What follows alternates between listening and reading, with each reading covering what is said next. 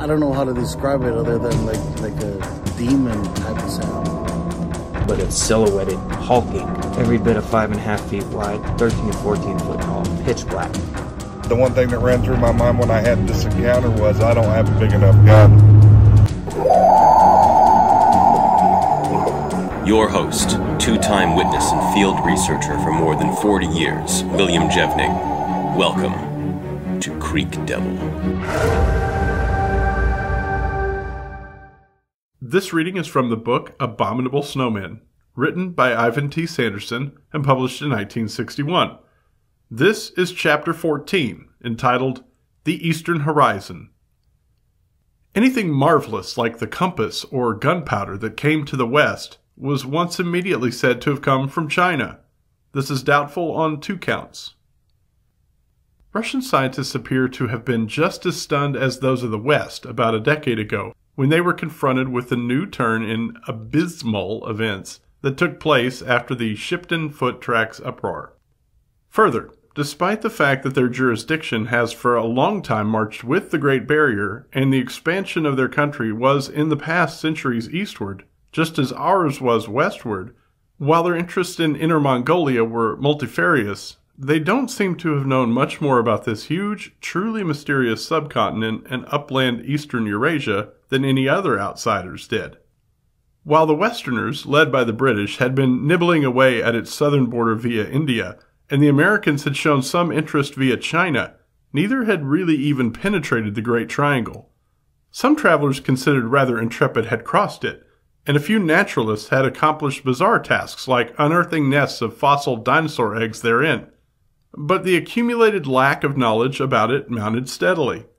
This is not to say that Europeans had not been traveling through it since very early times, for some became immortalized for their accomplishments, like Marco Polo and the great Russian explorer Przhevalsky in the last century.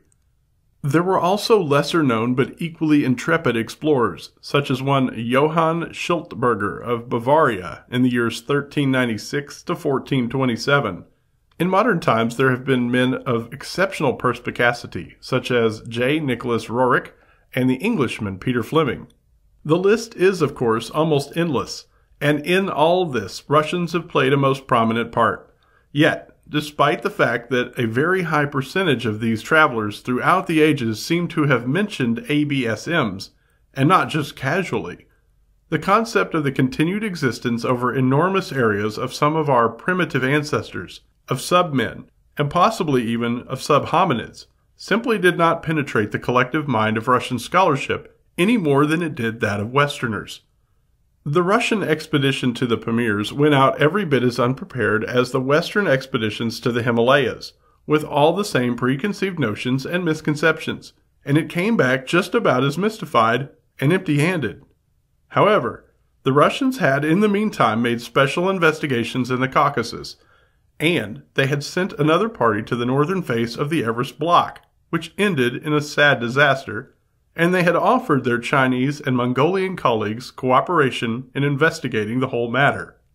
This intelligent approach was prompted in part by a growing tumult in the popular press and in scientific circles in the West about the quote, abominable snowman, and in part by certain historic discoveries of what may be called a purely bureaucratic nature by Professor Porshnev. These prove to be a sad commentary on just about everything, but somehow make one feel a little better about some things. They demonstrate that we are not the only dumb clucks, or the only one to let our scientific hierarchy obliterate any signs of novel thinking or unexpected discovery.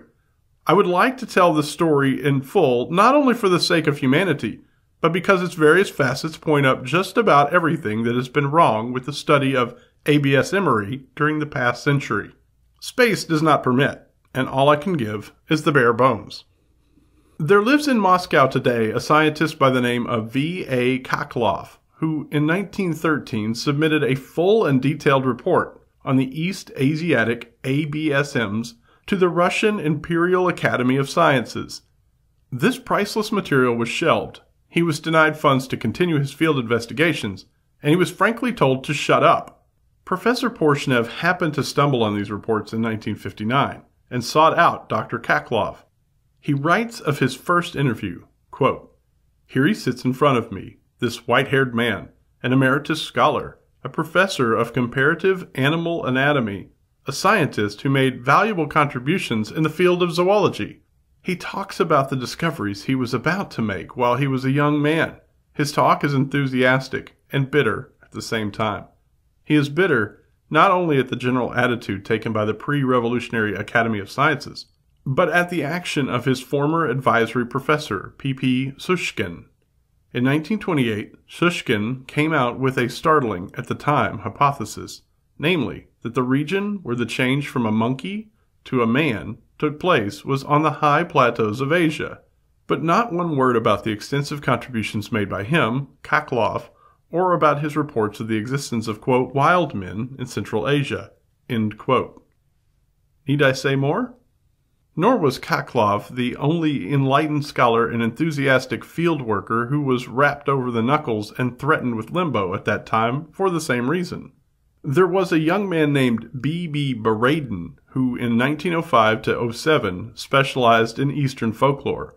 He was given a commission to travel through Mongolia to Tibet on assignment from the Russian Geographical Society of then St. Petersburg.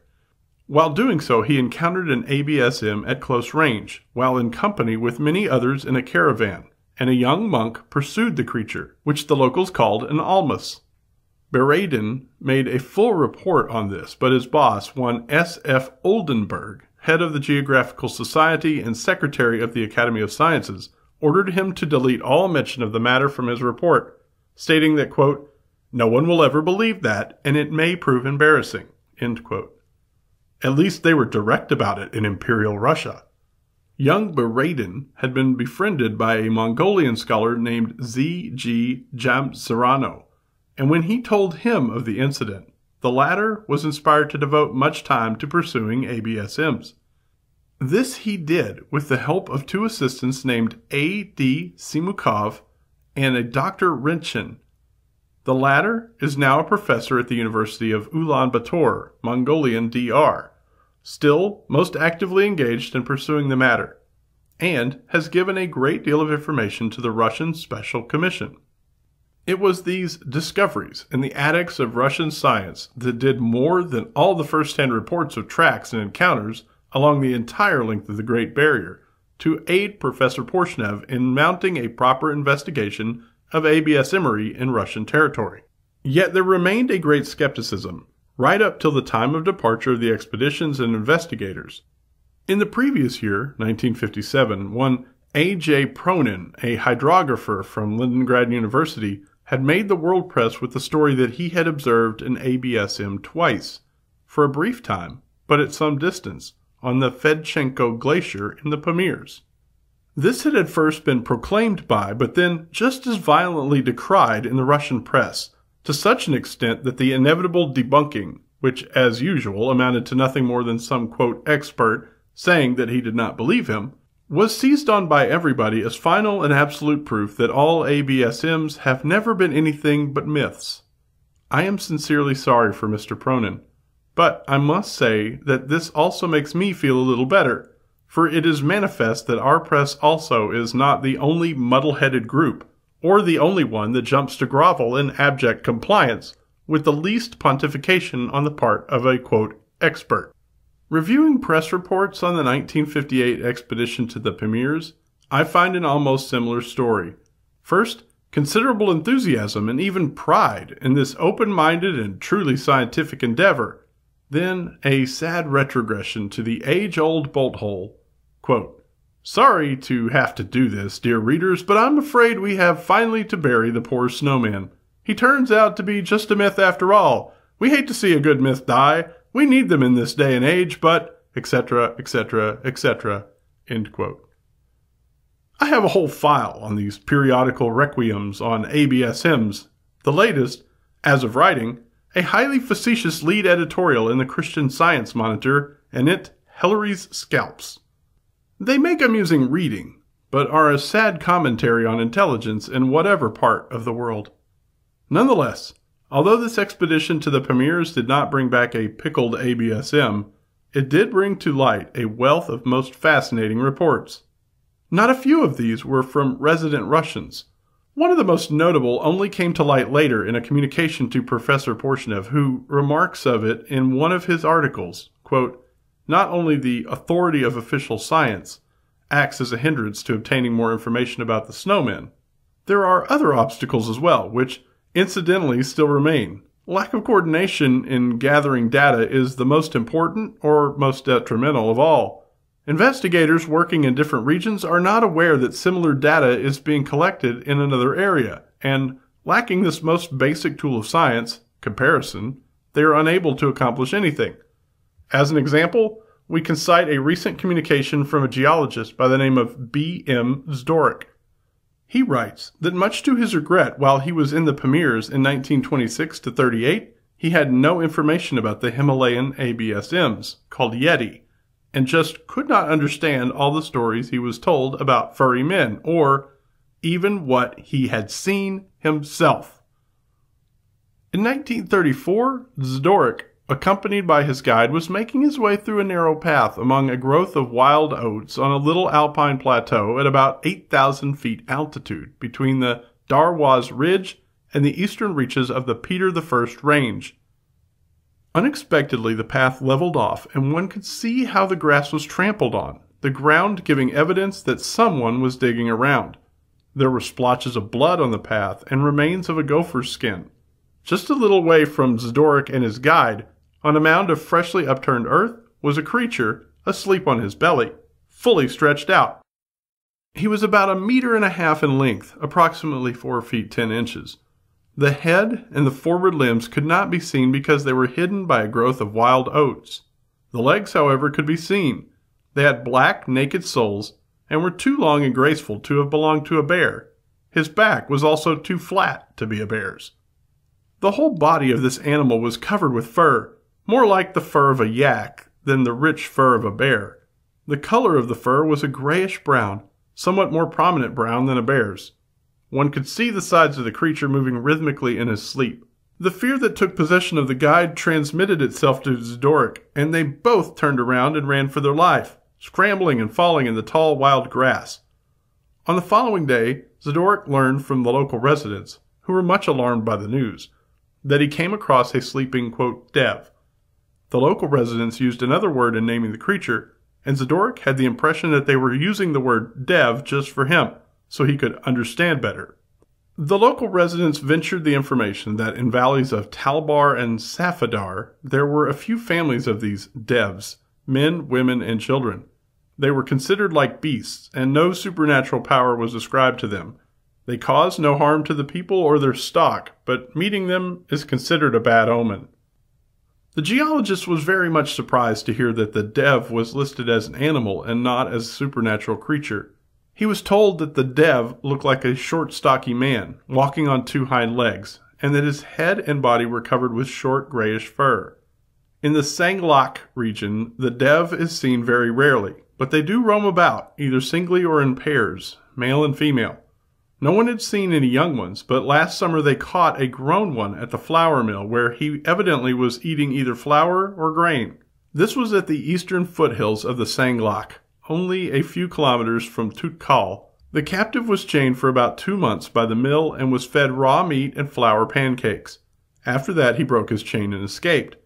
They also pointed out a man who had a large scar on his head from a wound, supposedly inflicted by the Dev. The list of encounters with, let alone mere sightings of ABSMs throughout the Pamirs region generally, as defined above, are literally endless. The same can be said of the other major areas of the Mongolian upland triangle. These areas are as follows. First, the super upland plateau of Tibet with its three principal super mountain ranges. In the south, the rim with the Karakoram. In the middle, the Kunluns that turn south to the head of Indochina. And along the north, the Altin Tag that leads into the Nanshans and on to the Xinlings of China. Second, north of the Pamirs lie the Alai Tag and from them stretch the Tian Shans to form the northern boundary of the Tarim Basin of Xinjiang. Next, north of these come the Grand Altai, forming the southern border of Mongolia proper. North of these are the Tanu Ola and the mighty Khangai between Mongolia and Tanu Tuva. Still north again, come the Sayan complexes and the Baikals, lying along the shore of the great lake of the same name. Then, in the Gobi Desert lie the Yablonavoy Mountains. Finally, there are the Khingans running north to south between the Gobi and the eastern lowlands of Manchuria. There is some suspicion that ABSMery may have to be extended still further north through the Stanovoys to the Zugzurs and Gidan Mountains, which border the Sea of Okhotsk.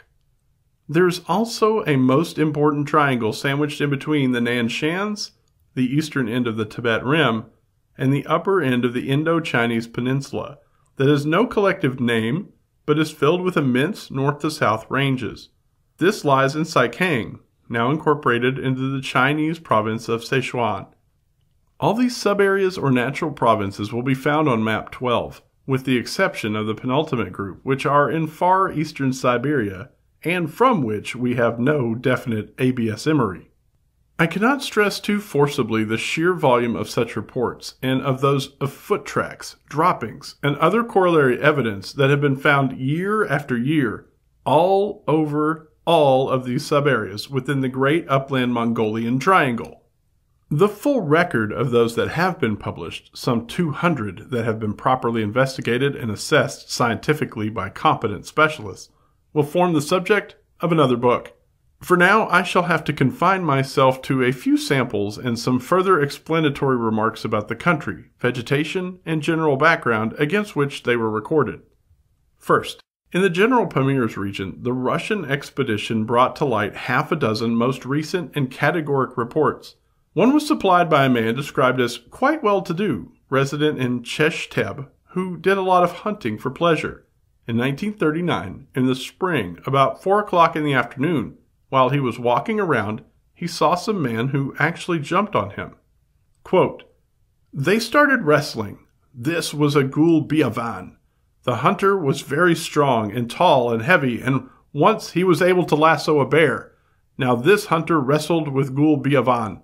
The Gul Biavan was covered with short, soft wool, and the man could not get a hold of anything. On the face of this man there were also short wool, and there was a terrible odor coming from him.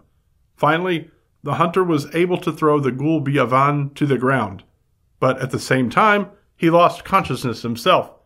The villagers came upon the man and brought him home. When he came to, it was late in the evening, and he told how he had met the Gul Biavan, and the villagers told him that he was lying on the ground, and the ground around him bore evidence of this wrestling match. In the same area, intelligent local people made many sworn statements, such as, quote, a man in Rorov was traveling with two others through the pass of Karatigan and Vahio when they saw a naked man covered with short black hair, who was slightly taller than an average ordinary man, and which had a very strong smell.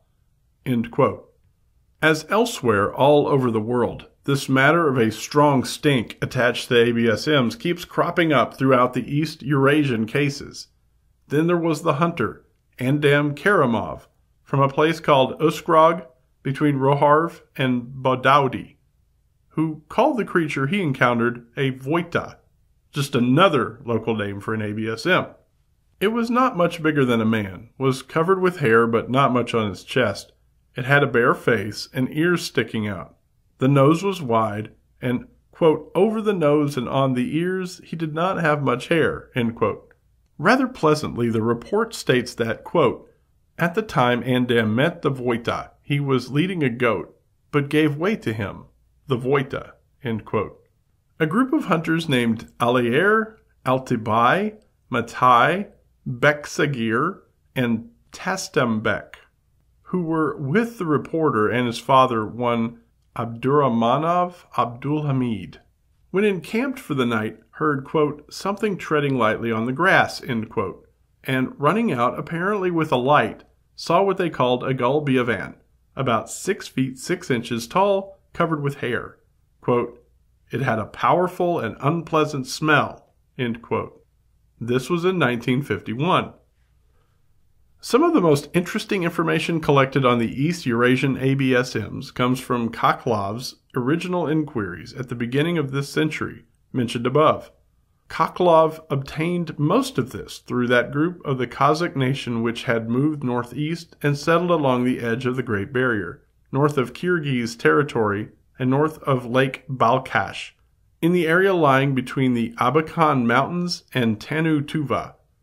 These people were actually foreigners too and were not acquainted with the uplands beyond the barrier, but they penetrated into it via certain lowland basins having entrances pointing to the west.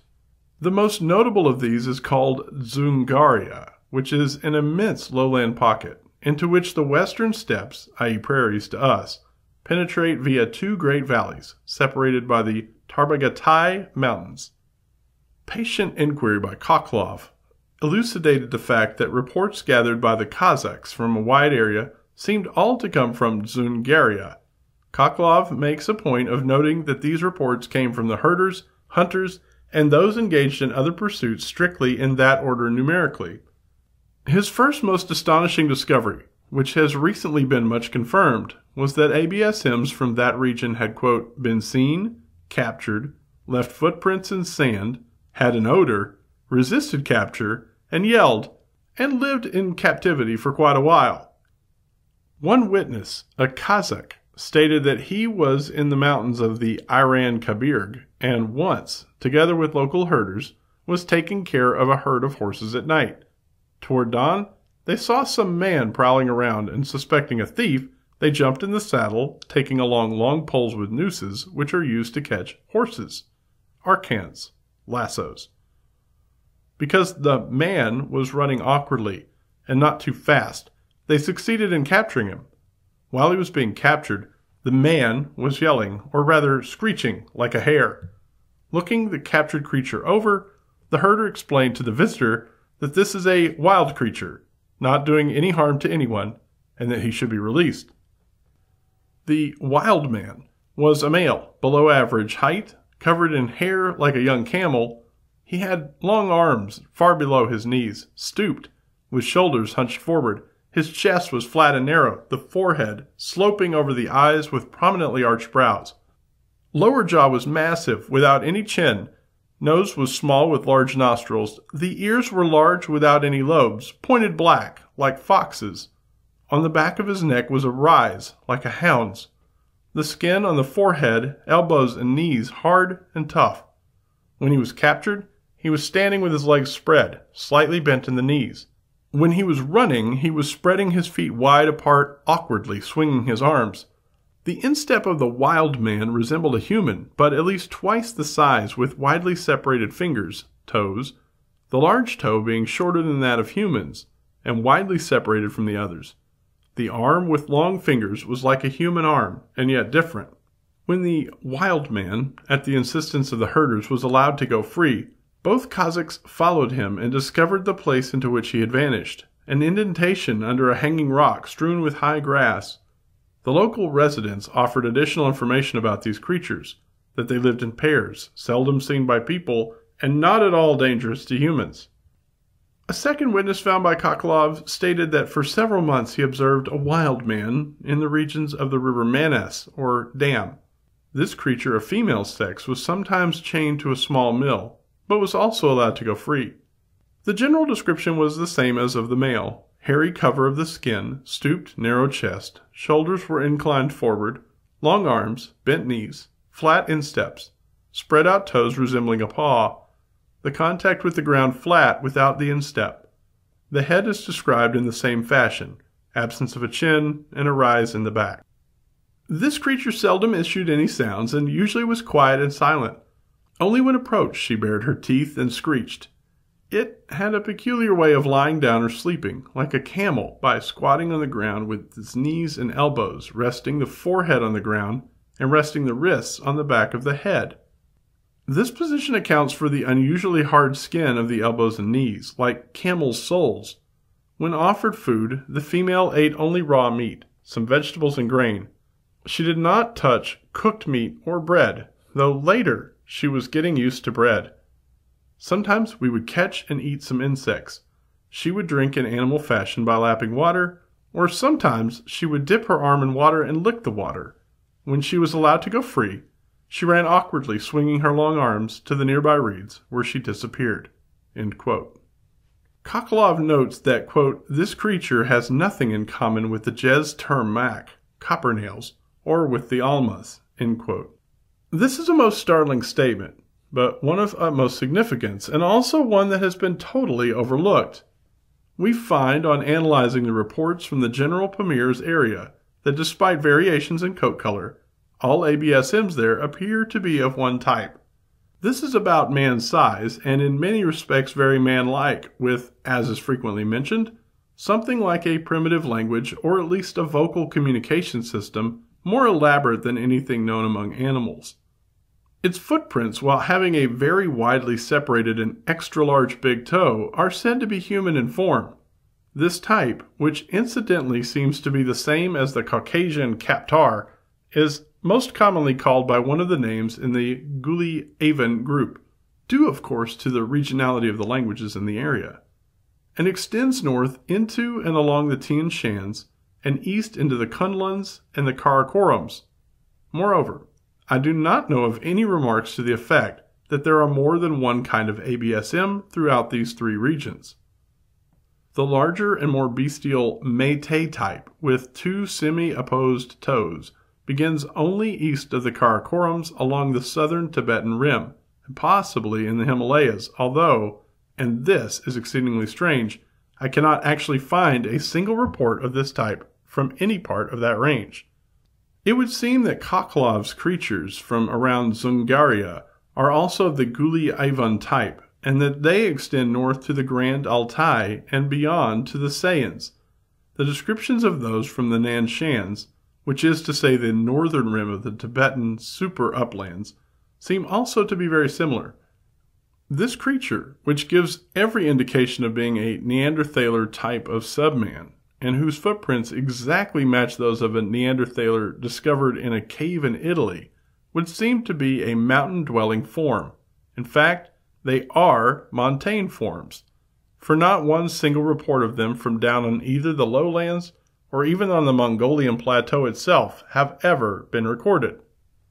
From the latter, which is to say Mongolia proper, with the Khangai Mountains that arise in its center, and the vast Gobi Desert, together with the Alishan, the Ordos, Turfan, and even possibly the lowlands of Dzungaria and the Tarim, we get reports only of the little Almas, these are much smaller, and apparently even more human, and seem always to have been regarded simply as extremely primitive humans, hairy and without speech, understandable to us, but having more or less all the human qualities, such as suckling human infants, and even, it has been alleged, trading with normal humans, in that they would leave skins at appointed places and take away certain simple basic articles left there by the nomadic tribesmen in return. There is even a report of a scholar in a Mongolian monastery who was a half breed Almas. This report comes from Professor Rinchen, mentioned previously, and reads thus quote, There was a Lama in the Laman Gegen monastery who was famous for his scholarship and known under the name of quote, a son of an Almaska. The father of this Lama supposedly was captured by Almas and begot a boy with an Almas woman both father and son eventually managed to escape by joining a passing caravan. The boy was allowed to become a pupil in a monastery and achieved scholarly fame. The same informant, one Gendul from Kuramal of the Bank Hongor district, recently told Dr. Rinchen that in 1937 he saw in a monastery Barun Kure, an entire skin or hide of an almas which was fastened to the ceiling of the temple. This skin was taken off by a cut along the back so that it remained practically intact, and one could see that it had human like legs and arms. The face was framed by long hair hanging from the head. The entire skin was covered with Kabbalistic signs and painted by the lamas. This Almas was supposedly killed in Gobi and brought as a gift to the monastery by a famous hunter, Mangal Durekchi.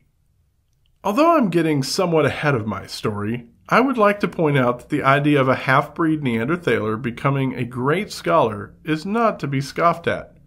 Those submen had relatively large brains, while there is really no evidence that a large brain is necessary for a large intellect. one should take to heart the couplet that states, Little brain, little wit, big brain, not a bit. And note that Anatole France's gray matter capacity was only 1100 cubic centimeters, while that of a Proto Neanderthaler so lowly as Rhodesian man was 1280. Professor Rinchen, already mentioned, reports that a man by the name of Anuk, traveling in the South Gobi in 1934 with a companion, quote, noticed in thick growth of saxaul grass a strange two-legged creature that started running away from them. Zagitmegen, Saxaul grandmother, decided both, and making lassos out of rawhide, they started in pursuit of the creature. The fast Gobi camels had no difficulty in overtaking the creature, whose body was covered with a short wool. At the sight of people twirling the lassos, the creature issued such a piercing cry that the frightened camels would not budge any further, and the creature was able to escape behind a rocky furrow. Then, again, there is the story of a caravan on the way to Kuko Koto in Inner Mongolia. The caravan was traveling from the region of Ulia Sutan in eastern Mongolia and approaching the southern borders of Kalki when it was decided to stop for rest near a place thickly grown with saxaul grass. When they were ready to start again, the man who was sent to get together the camels could not be found anywhere. An old experienced guide told the men that in this location may be some Zeigen Almas, and advised that more than one man should go searching. After a while, the three men who were sent out to search came to a cave and saw on the ground in front of it signs of a struggle between two people, one having shoes, the other barefoot. The frightened men did not attempt to enter the cave, and, recovering the camels, returned with their observations to the caravan, insisting that all should go to the help of their companion. The old guide again cautioned them against such an act. He stated that the Almas never kills people, but having captured one, will hole up for a while and will not come out of the cave. He suggested that they should wait till they came by on their way back, and then attempt to free their comrade. And so, on their way back, they came to the same spot, and arming themselves with a gun, they decided to hide near the cave and wait till the Almas came out. They waited a whole day, and then towards sunset, out of the cave, emerged a two-legged creature covered with hair all over. A shot sounded, and the creature fell dead. Reloading the gun, the men ran into the cave looking for their lost companion. They found him, but he seemed wild and listless. He never told anyone what occurred in the cave. He avoided talking to people, and in two months' time, he died. Reverting to the creatures called Jez Tarmak, which is alleged to mean copper nails, meaning, of course, fingernails, we should note that this name is applied to a larger, grosser, and more bestial type of ABSM than the Dzungarian Tsai Geek, and is alleged to be found on the super uplands of Tibet. It is said to be clothed in rather long, shaggy, very dark gray to black hair, to have fingernails of copper. The implication in the folklore on this type and in all undocumented stories about it asserts that their nails are actually made of copper. This idea is illogical and as near impossible as anything could be but there could be a very simple and logical explanation for it. It is that the fingernails of some primates, and notably adult gorillas, are quite often bright copper colored and even look burnished. The explanation seems to be that they are stained, as the material of which all nails and claws are made, known as keratin, so readily is, by the juices of certain fruits, barks, or berries on which they feed. I have collected monkeys of more than one species in Africa, that displayed remarkable variations from the described coat color and pattern by reason of bright red areas in the inguinal region, sometimes on the lower face, and even on the chest and inner arms. After preparing skins, it is a custom to wash them in warm soap and water before drying them for museum preservation. On doing this to these monkey pelts, we were amazed to find that all this bright copper color washed out and left the fur pure white or yellow. Experiment elicited the fact that the ingestion of certain fruits selected for us by local people, although looking green and otherwise quite innocent, produced this vivid red stain on the pelt of caged monkeys within a matter of days by dribbling from the mouth or anus, and when said fruits were eliminated from their diets, the color persisted for weeks. Their fingernails also remained bright copper colored until they grew out from the bottom up. While everybody has for centuries been alluding to Tibet as the real center of ABSMery, there turns out to be surprisingly little of a concrete nature from that vast land. This may appear astonishing, but should not be regarded as indicating that there are no ABSMs there. Quite the contrary, it appears to be the true heartland of the whole matter. But, as I have been at pains to try and explain above, there is a deep seated proto religious prejudice against speaking of the matter to foreigners, while, at the same time, the number of foreigners to visit Tibet throughout the ages has really been extraordinarily small. However, almost all of those who have visited the country and written about their travels have mentioned ABSMs. The American William W. Rockhill wrote in 1891 of hearing many stories from Tibetans in Pekin, China, and elsewhere of the hairy mountain people of their country, but he discounted these reports as being merely cases of mistaken identity, namely of bears. However, he goes on to say, quote, One evening, a Mongol told me of a journey he once made to the lakes in the company of a Chinese trader who wished to buy rhubarb from the Tibetans who annually visit their shores, i.e., the lakes of central Tibet. They had seen innumerable herds of yaks, wild asses, antelopes, and Garasun bamburshi. This expression means literally wild men, and the speaker insisted that such they were, covered with long hair, standing erect, and making tracks like men's, but they could not speak. W. M. McGovern, in his book To Lhasa in Disguise, published in 1924, says, quote, In nearly all parts of Tibet one finds the tradition of the existence of a primitive race of men, former inhabitants of the land who have been driven out of the plains by the Tibetans, and who now dwell only in the passes and in inaccessible mountain crags. My own servant referred to them as snowmen, they are said to be great hairy creatures, huge in size and possessed of incredible physical strength. Although having a certain low cunning, they are deficient in intelligence, and it is the intellectual superiority of the Tibetans that has enabled them to oust the primitive snowmen from their plains. It has been permitted to no white man to meet these snowmen. He adds at another point that, quote, Rockhill, who came across this tradition in the extreme eastern part of Tibet, i.e., the land of the Dzute, suggests in his Land of the Lamas that the wild men may be nothing other than bears. For other parts of Tibet, this explanation could scarcely be valid, since in many parts of Tibet, as for example in Khampa Dzong, Peri, and the surrounding district, bears are unknown. This is a rather significant statement in view of the constant insistence that all kinds of bears, though all varieties of the Eurasian brown bear, are found all over Tibet.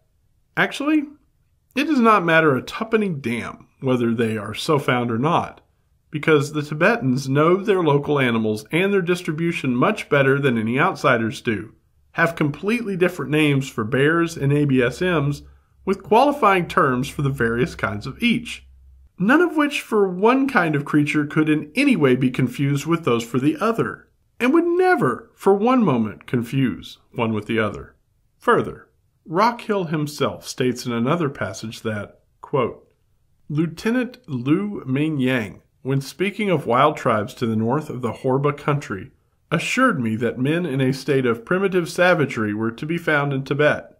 Some few years ago, that was before 1890, there was a forest fire on the flank of Mount Ka Lo, east of Kanzi, and the flames drove a number of wild men out of the woods.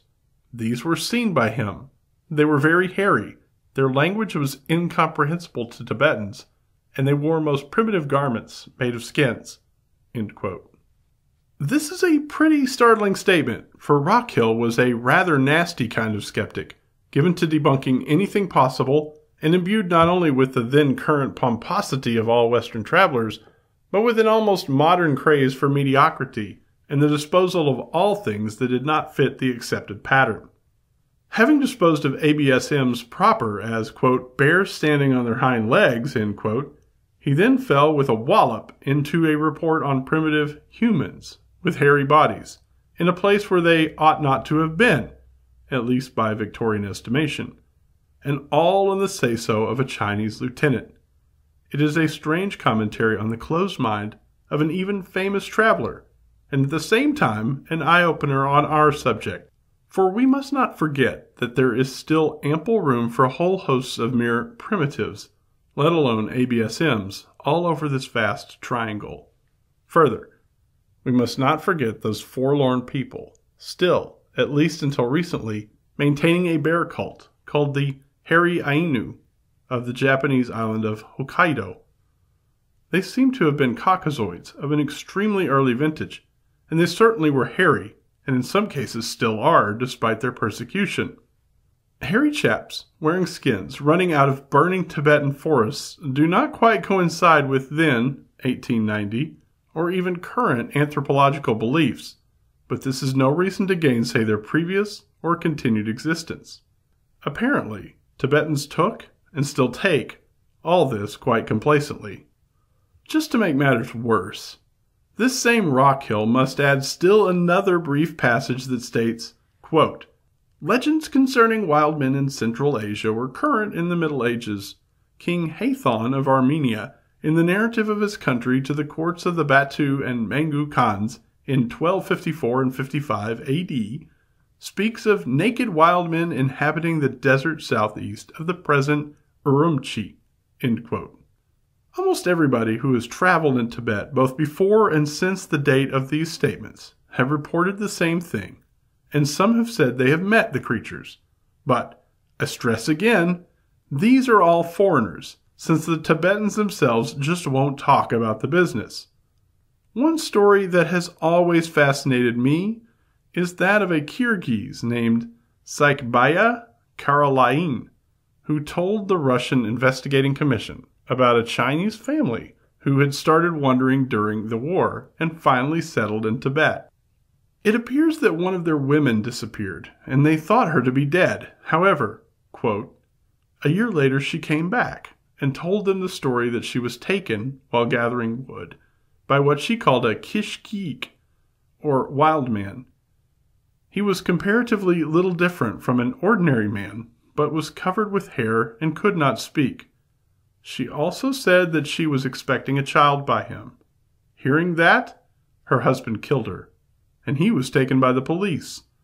The woman also told where the wild man's den was. They went up there and actually saw wild men and women all covered with hair. On several occasions, Tibetans of higher education have said, see chapter 12, or have been reported to have stated that they know of three distinct types of ABSMs in or around the periphery of their super upland plateau, while in addition they speak of two animals with man-like or super anthropoid characteristics. These latter they identify as first a giant monkey and secondly the Meh-Teh. Of the other three man creatures, they are quite cognizant, affirming that they are first the little dwarf Tei Ma of the lower valleys, second, the man-sized hairy one, i.e., the Kaptar, Guli Avan, or Sai Geek type. And third, something quite else. This is the mighty Zute type, known elsewhere as the Gin Sung, a real giant, shaggy coated, and able to stay for long periods in the ruggedest country. Dangerous, a stock raider, but possessed of an almost exactly human type foot. This, they and everybody else agrees, is not found along either the Himalayas or the southern Tibetan rim, nor even in the Nan Shans, but is confined to the unnamed triangle between these, Upper Indochina and the Chinese escarpment. This same type seems to prevail also in the Tapa Shan, the Tsin Lings, the ranges between the Shensi and the Gobi, and again north along the mighty Khingan's that separate the Gobi from Manchuria, and on into the little Khingan's that lie athwart the northern edge of that province. Also, as I said before, there are indications that this type of ABSM may exist still further north, in the Stanovois, Zugzurs, Gidans, and even in the Anadirs. This is of the utmost significance, since it is only a skip from there to Alaska. While this Zute type ABSM seems to conform very closely, if not be identical with, our Sasquatches and Omas. Here indeed is a strange situation to contemplate. We start out with a suggestion that there might possibly be some one kind of as yet uncaught and undescribed animal, probably an anthropoid or a race of runaway human delinquents, in the Himalayas, which somehow got colorfully called abominable snowmen. We end up with a whole galaxy of unknowns spread over five continents and concentrated in eastern upland Eurasia, where, by the word of those people who know most about the subject locally, speak the local languages, and have devoted the most time to the matter, there appear to be no less than five very distinct types, each with its own characteristics and habitat, namely 1. The mountain Neanderthalers of the West, 2. The little Almas, also Neanderthalers, or mere primitives of the hot deserts, 3. The bestial Meh-Teh of the Tibetan Upper Plateau, 4. The giant Zute, Gigantopithecus, Toke, or Sasquatch type, and 5. The tiny tropical forest dwelling Te Ima of the southern valleys. This may sound fabulous, but the deeper you delve into the reports and the background, the more obvious and logical this becomes. The distinctive nature of each of the five is perfectly in accord with the varying nature of other groups of mammals. Take for instance the wild sheep of this area. There are distinctive species and or races in each of the great mountain blocks, while other hoofed animals replace these on the lowlands or comparative lowlands, one set on the hot deserts, another on the upland cold deserts.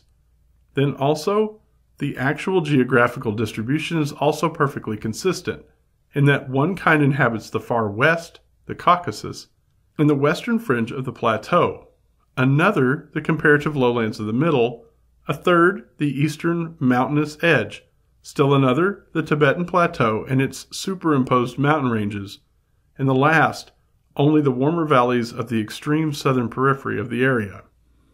These divisions, furthermore, coincide with the distribution of both vegetation and vegetational types of growth. For instance, the arrangement of the latter going north from the Pamirs to the Sayans up the Great Barrier parallels, but is different botanically from, that going up the eastern escarpment from Indochina to the Stanovois in Siberia. The whole picture, in fact, despite its enormous complexity and our gross overall lack of knowledge of the area, is perfectly logical and consistent with all natural facts and factors. To reiterate, and I cannot help doing this, and for some very real reasons, we should wipe away our sense of helplessness and hopelessness on taking our first look at Map 12, and just remember that this tremendous mishmash may be quite simply divided into five parts. The Great Barrier on the west, the Central Desert Basins, the Great Barrier and the escarpment on the east fronting Manchuria and China, the Tibetan super uplands and their mountains, and last, the fringe area of the Himalayas. This is Eastern Eurasia in, as it were, a nutshell. The only things left over are the two enormous masses of uplands and mountains in Siberia, west and east of the Lena River, respectively. These, however, do not at the moment concern us. And so we find ourselves ending our world tour in an area that is only one stage removed from where we started. The animal life and much of the vegetation of far eastern Siberia is identical to that of our extreme northwest. What is more, as you go south from the Bering Strait on either side, down through Siberia on the Asian side, or through Alaska to the Yukon and British Columbia on the American, you pass through the same successive vegetational belts and mountainous zones at each latitude. Many large animals, like the brown or dish faced bears, and the large red deer or American elk, have crossed from one to the other in comparatively recent times. The Amerinds seem to have done the same too, and the Arctic or Eskimo type Mongoloids even later, unless they were on both sides all the time. As I asked at the outset, what was there to prevent the neo giants from doing so also, at some time? They are, of all the ABSMs, apparently the most rugged, surpassing in this respect the Neanderthaler Kaptar Guli or Gulb Avans, the desert dwelling Almas, and the little warm forest Teimas. That the Meh-Teh did not do likewise seems to me fairly reasonable, for it would appear that they are more apes than men, and, like all of that ilk, are neither catholic in their tastes nor so readily adaptable as are the hominids. Like the gorillas in Africa and the orangs in Indonesia, they got into a special environmental niche and have remained stuck therein. Turning to another aspect of the matter, the Pithecanthropines were manifestly lowland creatures and had plenty of space. Why should they go barging off into Upper Siberia? Then, although there are Mousterian Neanderthal type stone implements scattered all over Manchuria and eastern Eurasia, the submen who made them, the Neanderthalers, appear to have been essentially a western species that spread from western Eurasia. The Teimas and little Sadapas, on the other hand, need hardly be considered as candidates for immigration to North America. They are tropical types. It would seem to me that, if the Dwendi are just pygmy Amerinds, there are no ABSMs in the New World other than neo giants, except for the alleged Shiru of Colombia. What this might be, I certainly don't know, and a great deal more than is at present on record about it will have to be established before anybody can hazard even an educated guess. But, life being what it is, I would not really be a bit surprised if it was the first ABSM to be collected in the flesh. This concludes the reading for Chapter 14. Thanks for listening to this episode of Creek Devil. If you or anyone you know has had an encounter with these creatures, please contact us at williamjevning at yahoo.com. That's William, J E V N I N G, at yahoo.com. All communication is confidential. Join us for another program next week. And until then, keep your eyes open.